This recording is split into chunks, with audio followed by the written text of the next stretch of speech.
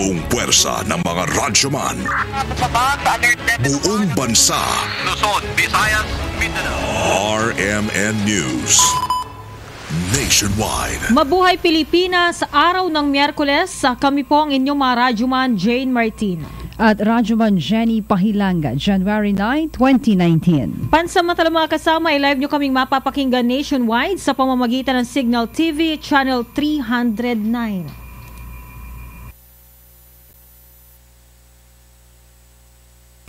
Mga nakiisa sa traslasyon na 2019 umabot na sa mahigit isang milyon. Bilang ng mga deboto na natulungan ng Philippine Red Cross umakyat na sa mahigit 800. Philippine HIV and AIDS Policy Act pirmado na po ni Pangulong Rodrigo Duterte.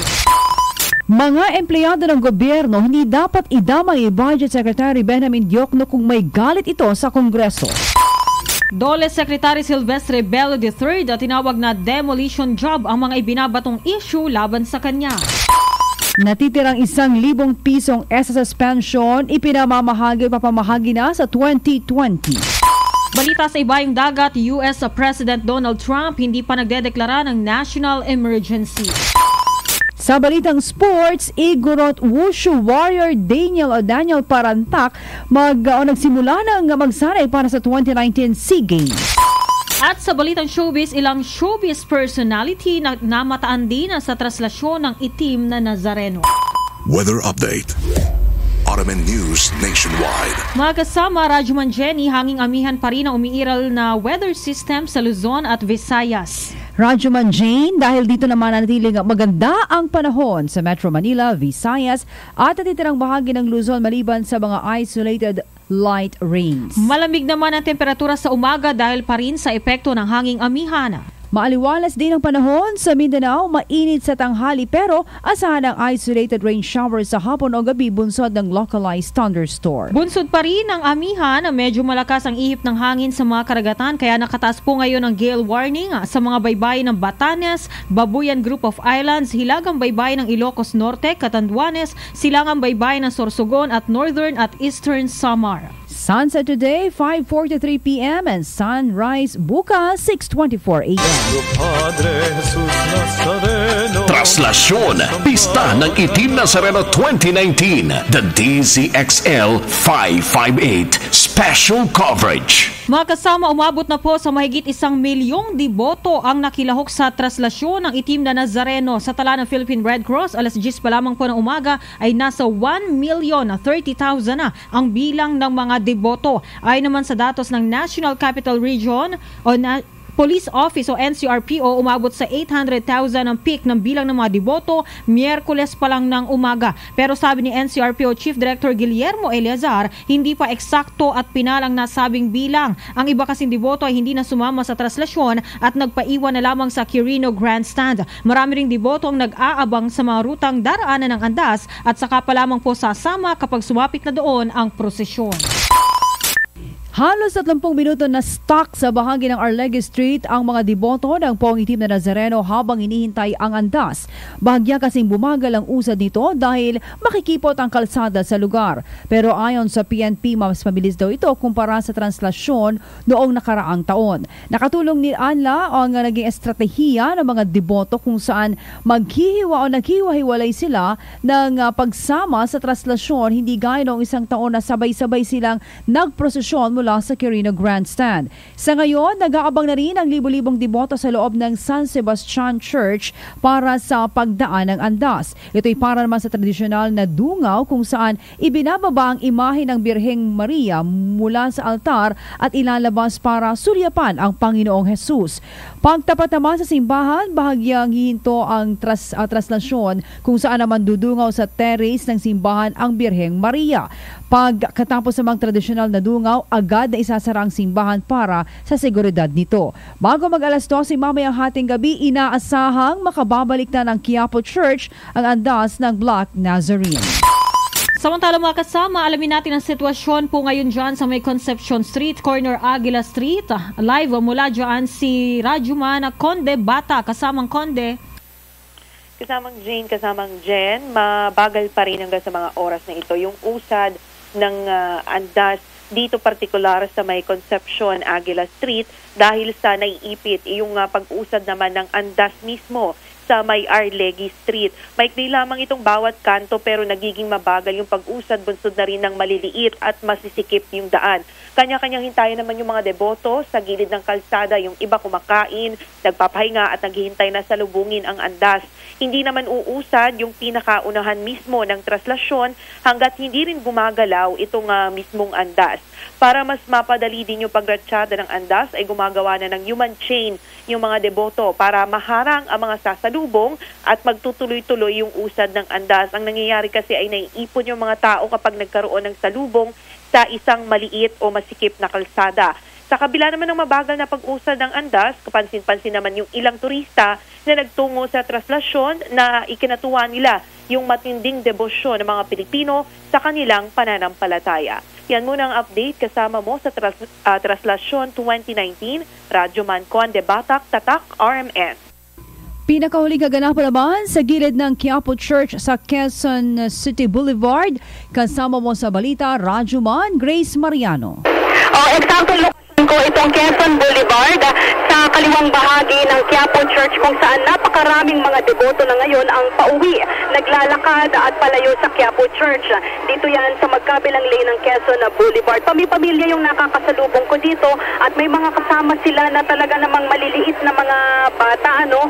Isang positibo ding napansin ko ay ang police visibility kung saan itong mga otoridad ay hindi lamang basta nakahinto o nakaposisyon, sila ay naglalakad din kahalo ng mga deboto. Yan marahil ang dahilan kung bakit ah, nananatiling ah, maayos, payapa itong ah, traslasyon na isinasagawa ngayon. At uh, dun sa mga kanto na dinaanan ko kanina, itong Ar, Ar Hidalgo, Evangelista, Carriedo, napansin ko na napakarami ding mga deboto ang mga nakaupo na, may mga nakahiga at nagpapahinga. Sila yung mga humatak kanina sa andas na nagsimula nga sa Quirino Grandstand at ngayon ay nandito na sa area ng Quiapo. Malapit na rin kumagat ang dilim. Hindi mainit at medyo malamig ang ihip ng hangin kaya mas maraming deboto yung talagang mas ah, komportable na na maglakad ngayon. Sa simbahan naman, nananatili pa rin yung mga tao sa loob nito at nagaantabay sa pagdating ng itim na nasereno na inaasahang mamayang hating gabi o kaya ay madaling araw. Kasama mo sa DZXL Manila, Radyoman Grace Mariano, Tatak, RMN. Maraming salamat, Rajuman Grace Mariano. Samantala, puntahan natin si Rajuman Rhea Mamogay. Nandiyan po siya ngayon sa may Arlegui, sa gitnang bahagi ng Arlegui Street, kasamang Rhea. Habang uh, papalapit dito sa Quiapo Church ay uh, mas dumarami itong mga debotong sumasama ngayon sa traslasyon ng uh, itim na Nazareno. At uh, sa ating kinalalagyan ngayon, uh, maliban doon sa masikip na eskinita na dinadaanan uh, andas ay uh, yung paatras dahil sa yung ilan sa ating mga deboto nakaupo na lamang dito sa gilid ng kalsada kasama yung kanilang mga replika na bit-bit-bit dahilan dyan ay mas uh, itong kalsada at uh, kaya mas mabagal din yung uh, usad dahil may uh, area ng uh, Arlegui, partikular yung pinakaunahan niya, yung street ay ni Pomosino Street. Meron siyang prayer station. Bahagyang humihinto itong mga deboto na may bitbit na mga replika na siya ring dahilan kung bakit bumabagal itong uh, pusad ng uh, andas dito sa partikular na street na ito. Dalawang oras nga nagtagal ito dito sa Arlegui Street itong andas mula doon sa Quezon Boulevard kung saan ay uh, Kasama Mabilis ito pag uh, sapit ng uh, uh, Santa Cruz Church, Quezon Boulevard. Pero pag sapit na nga dito sa Arlegui Street ay bahagya ng bumabagal itong antas. At uh, may kanina may mga na-monitor, na-monitor tayo dito sa bahagi ng Arlegui na nagsuntukan pang mga deboto na ngayon patuloy na suntukan pa rin ng mga uh, miyembro ng uh, Philippine Police. At uh, ito nga ay isang uh, banal na na may mga ganitong nangyayari. Pero wala naman na dapat na ikabahala yung ating mga kababayan, mga deboto, dahil yung ating mga polis ay sumasabay mismo dito sa mga deboto. As tiyakin pa rin yung seguridad ng ating mga kababayan. At dahil pagod, kahit pa may nagkakagulo dito sa pinakaandas, may mga kababayan tayo mas pinili na lamang na upo sa gilid. At ah, uh, kumain. So yan yung sitwasyon. Pagkatapos dito sa Arlegue Street ay uh, dediretso itong andas. Ito yung pinaka-ruta. Yung uh, Fraternal Street, Vergara Street, yung Beque de Albo, Alba Street, at yung Castelio de Farnesio.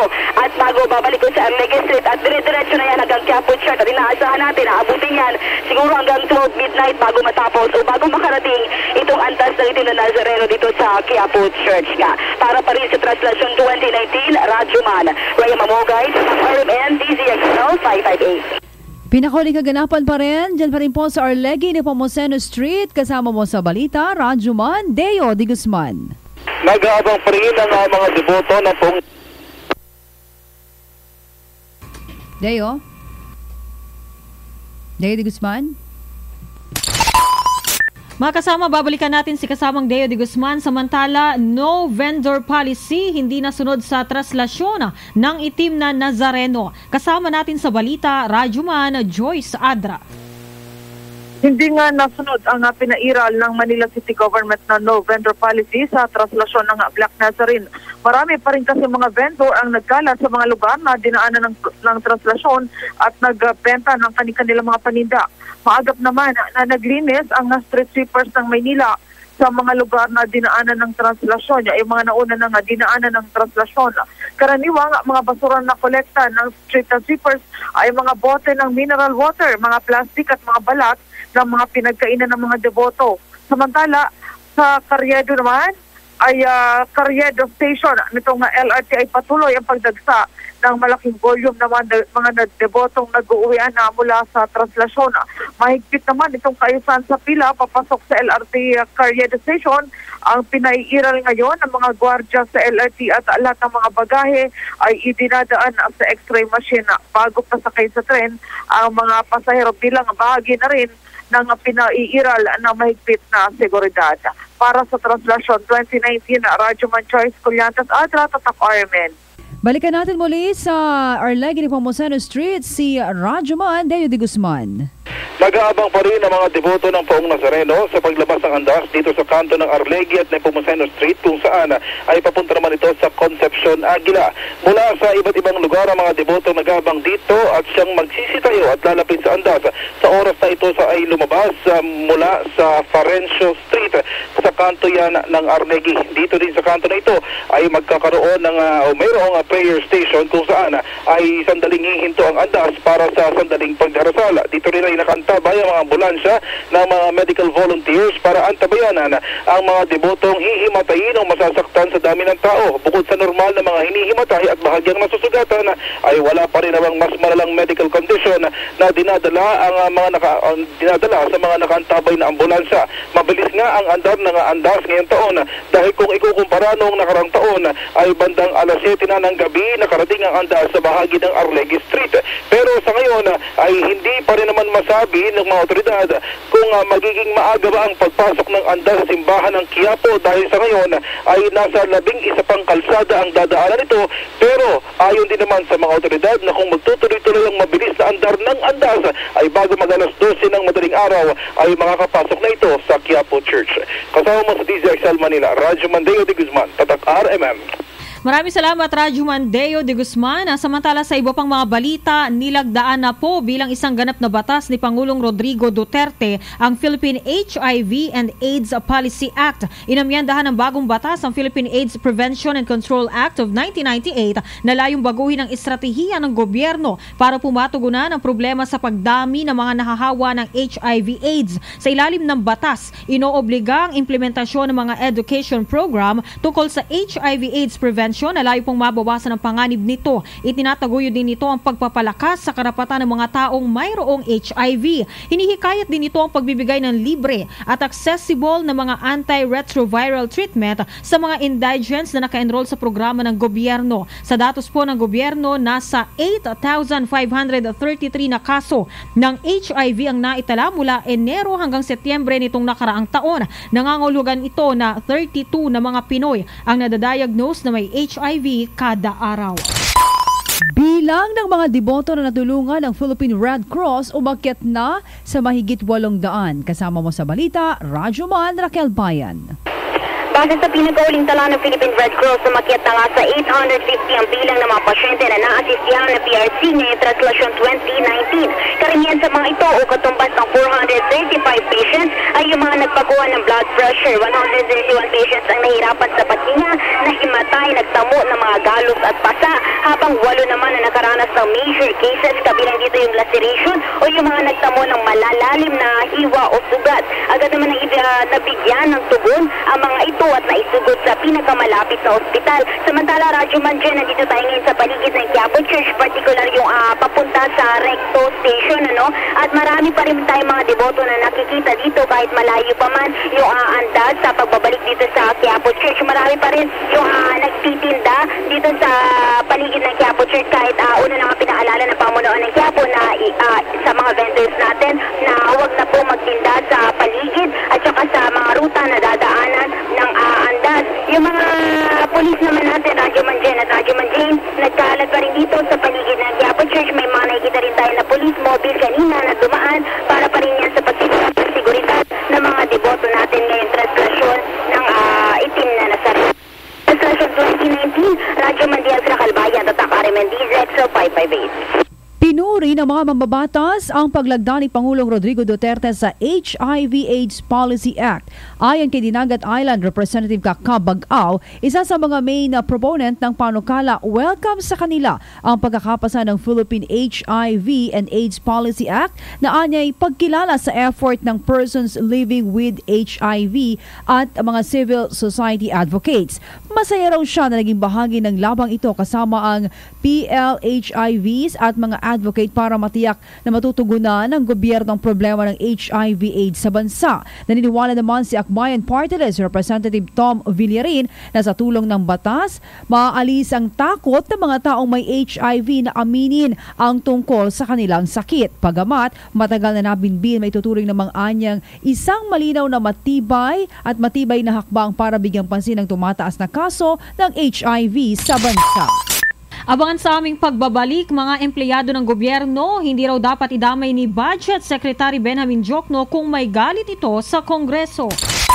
At isa pang dapat abangan mga contractual worker inaasahang mawawala o mawawala na sa pagsapit ng 2021. Magbabalik ang RMN News Nationwide. Anim na put anim na taon na naghahatid ng balita at impormasyon. Ako naman po inyong radyo kundi sa WRMN New York, USA. Anim na put anim na taon na serbisyo publiko sa masang Pilipino. Anim na put anim na taon na nating kadamay sa hirap at lungkot. Hindi ko pasugdan sa Hindi nga pang problema. Anim na put anim na taon na nating kasama sa ginhawa at saya. Ang Radio Mindanao Network ay ang pinakamalaking network sa buong Pilipinas.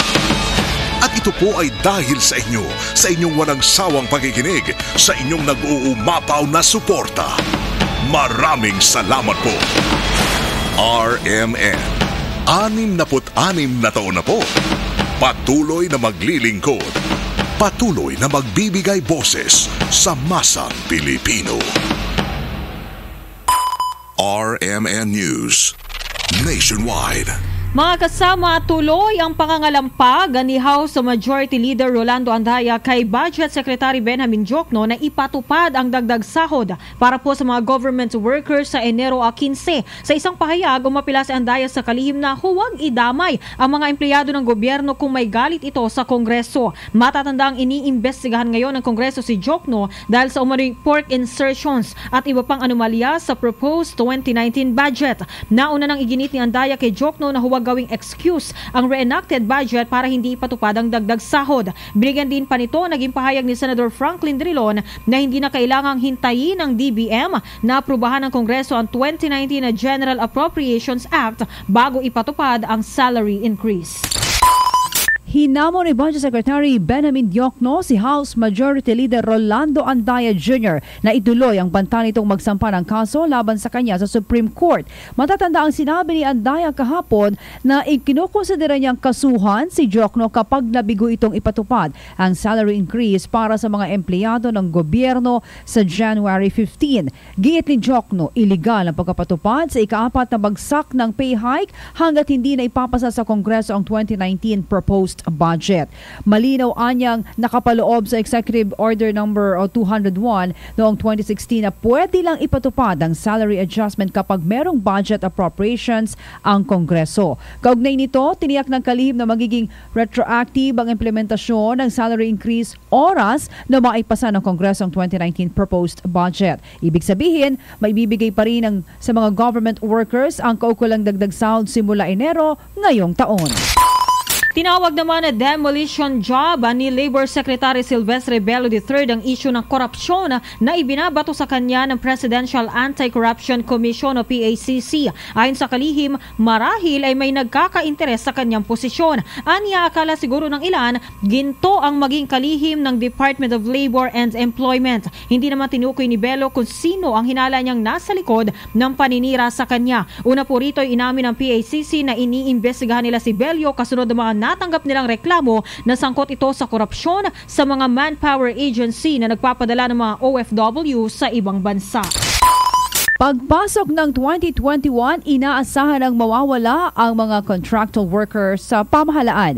Batay sa inamyandahang Joint Circular ng Department of Budget and Management DBM, Civil Service Commission, CSC at Commission on Audit COA, hanggang December 31, 2020 na lang pwedeng i-renew ang umiiral na kontrata ng mga contractual employees ng gobyerno habang ang mga kwalipikadong contract of service at job order workers ay may pag-asang maitalaga naman sa mga bakanting posisyon sa mga ahensya ng pamahalaan. Simula rin ngayong 2019, ipapantay na umano ang sweldo ng contractual employees sa mga regular na government employees. Police Report. Ottoman News Nationwide. Sa General Santos City, isang miyembro ng NPA na nahaharap sa kasong murder, arestado. Kasama natin sa balita mula Arimen Jensen, Rajuman Rose Shoko. Arestado ang isang kasapi ng New People's Army na nahaharap sa kasong murder sa isinagawang Manhunt Charlie ng pinag-isang pwersa ng maitong PNP at ng Regional Intelligence Unit ng Police Regional Office 12 sa sitio Anggo, Barangay Batian, Maitong Sarangani Province. Kinilala ni Police Senior Inspector Rodel Havison, hepe ng maitong PNP ang suspect na si Junjun Makilbing, 25 years old kasapi umano ng Platoon My Phone Guerrilla Front 73 ng Far South Mindanao Region. Una nang nakatanggap ng report ang maitong PNP na nasa lugar ang suspect kaya agad silang nagsagawa ng operasyon. Si Makilbing ang sinasabing isa sa mga responsable ng panununog ng bus at mga heavy equipment sa Maitom at karating na bayan at lalawigan. Sa ngayon, mas pinaigting na ng Maitom PNP ang kanilang ipinapatupad na seguridad dahil na rin sa posibleng paghihiganti ng mga kasamahan ni Makilbing matapos itong naaresto ng PNP. Kasama mo sa DXMD RMN General Santos, Radyoman Rose Tabausari Shoko, Tatak RMN. Sa Cotabato, planong pangaharas ng MILF mariing itinanggi. Kasama mo sa balita, Rajuman Amir Sensuwat ng RMN Cotabato. Mariing itinanggi ng Moro Islamic Liberation Front MILF ang balitang sila'y magsasagawa ng pangaras dito sa lungsod ng Cotabato maging sa ibang lugar. Ito ang sinabi ni MILF Peace Implementing Panel Chairperson Moaki Rikbal. Hindi umano totoo ang mga kumakalat sa mga text messages at maging sa social media bilang pananakot na sila'y magsasagawa ng harassment. Ang mga nagpapakalat ng maling impormasyon ay ang mga taong walang magawa at walang inisip kundi takutin ang mamamayan. Sa mga kumalat na impormasyon ay magsasagawa ng harassment ng grupo ng MILF at kabilang umano sa mga lugar na target nila ay ang lugar na maraming tutol o hindi pabor sa Bangsamoro Organic Law o BOL. Ang nais ng MILF ay may pasa ang BOL para sa hinangad nilang kapayapaan at kaunlaran sa Mindanao. Kasama mo sa DXMY Cotabato, Radyoman Amir Sinsuat, Tatak, RMN. Sa Luzon, dito po sa San Mariano, Isabela, mag-ama patay habang lima sugatan sa salpukan ng motorsiklo at tricycle. Kasama natin sa balita mula Arimen Kawayan, Rajuman Rowena Munchang. Dead on the spot ang apat na taong gulang na bata habang binawian naman ng buhay ang ama nito matapos isugod sa pagamutan pagkarang sumalpok ang sinasakyang motorsiklo sa kasalubong na tricycle sa barangay Minanga, San Mariano, Isabela. Inilala ang mga nasawi na sina Erickson Tagapan, driver ng motorsiklo at Rixie Jean Tagapan. Samantalang sugatan din ang ina ng bata na si Julie Tagapan na pawang mga residente ng barangay Dibuluan, San Mariano, Isabela. Nagtamo rin ng sugat sa iba't ibang bahagi ng katawan ang suspect at driver ng nakasalpukang tricycle tricycle na si Erickson Magudayaw, maging ang tatlo pa nitong sakay na estudyante. Nagsalpukan sa pakurbang bahagi ng lansangan ang dalawang behikulo matapos mag-overtake si Tagapan sa sinusundang sasakyan. Nagtamo ng matinding pinsala sa katawan ng batang biktima na nakaupo sa harap ng motorsiklong minamaneho ng tatay na nagresulta sa kanyang agarang pagkamatay. Isinugod naman sa ibang pagamutan ang mga sugatang estudyante maging ang nanay at asawa ng biktima para sa kanilang karampatang lunas. Nasa kustodiya na ng PNP San Mariano ang suspect at inihahanda ang kasong kakarapin ni Magudayaw. Kasama mo sa DWKD Armen Kawayan, Radyoman, Rowena Munchang, Tatak RMN. Sa Negros Occidental, isang parte ng ginagawang convention hotel sa government-owned resort nag-collapse. Kasama mo sa balita, Radyoman Albert Hiner ng RMN Bacolod. Bumigay isang parte ng kinokonstruct na four-story Mamukal Convention Center Hotel sa government-owned resort sa Mursa Negros Occidental ayon sa kay provincial engineer Ernie Mapa nag-collapse ang parapet ng building at na-damage ng mga nahulog na hollow blocks ang lower roof ng building. Paniwanag naman ni Mapa na hindi pa na-turn over sa provincial government ang building kaya nasa kontraktor pa ang obligasyon para sa pagkukumpuni ng damage. Hindi naman na-damage ang 48 rooms main structure ng Convention Building. Napagalaman rin na 84 million pesos ang pundo ng probinsya para sa konstruksyon ng Convention Hotel para sa kontraktor na Alfish Construction. Kasama mo sa DYHB Bacolod, Radyoman Albert Henner. Tatak Carmen. Business News, Ottoman News Nationwide. Mga kasama, narito na ang palitan ng piso, US dollar, may katumbas po na 52 pesos and 45 centavos. Sa Japan yen, 0.48. UK pound, 66 pesos and 72 centavos. Sa Saudi Arabia Riyal, 13 pesos and 98 centavos. Hong Kong dollar, 6 pesos and 69 centavos. At sa Euro, 60 pesos. World News, Ottoman News Nationwide.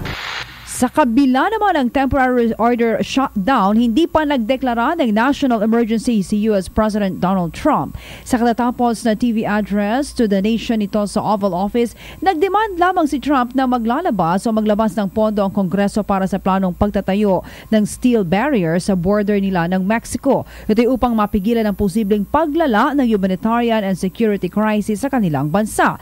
Nabatid na sa oras na magdeklara ng national emergency si Trump ay ma maaari nitong i-bypass ang US Congress at ituloy ang pagtatayo ng border wall. Una nang nagbanta si Trump na kanyang isasara ng tuluyan ng US-Mexico border sakaling hindi aprobahan ng Kongreso ang bilyong pondo sa pagpapatayo ng pader.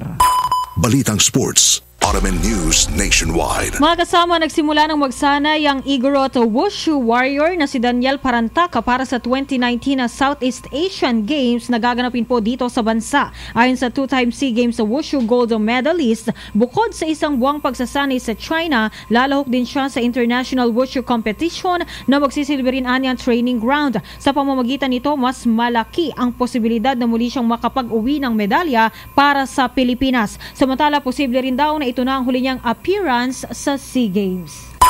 Balitang Showbiz, Ottoman News Nationwide. Nako, eto na nga, tulad din ng ibang uh, nakaramihan dyan. Ano? May ilan din mga showbiz. Kaya sa showbiz industry ang deboto ng itim na Nazareno. Maagang uh, nagpunta sa Carino Grandstand ang aktor na si Coco Martin. O, si probinsyano para dumalo sa taunang traslasyon. Sinabi ng aktor na mula nung hindi pa siya artista, dinadala na siya ng kanyang lola para dumalo sa traslasyon. Hindi rin nalintana ng singer na si Angeline Quinto ang pakikipagsiksikan sa mga maraming tao para lamang makalapit sa landas kung saan nandun ang itim na Nazareno. Parang last year, no, si Angeline Quinto, umakyat din talaga siya Oo, dyan. talagang Oo. deboto. O, dun sa mga kababayan natin na sumali dyan sa traslasyon ng pong itim na Nazareno, ingat po. 'di ba? Ingat po tayo. At kasama nyo sa extra lawak na balitaan nationwide, ako si Rajuman Jane Martin. At Rajuman Jenny Pahilanga. Ito ang Arimen News Nationwide. Hatid sa inyo ng buong puwersa ng mga Radyoman. Buong bansa. RMN News. Nationwide. Oras, isang minuto makalipas ang alas 6 ng magandang gabi. Paano kaya uunlad ang